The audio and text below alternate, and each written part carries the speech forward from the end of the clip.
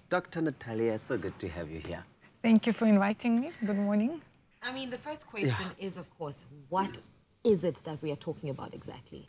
Endometriosis is a condition when the cells from the inside of the womb, called endometrium, are found inside of the tummy, around ovaries, on the outside of the womb, in the pelvis, and other spots. Mm. And what happens is that when a woman has a period and she's bleeding, she kind of bleeds inside of her tummy, and it's extremely painful.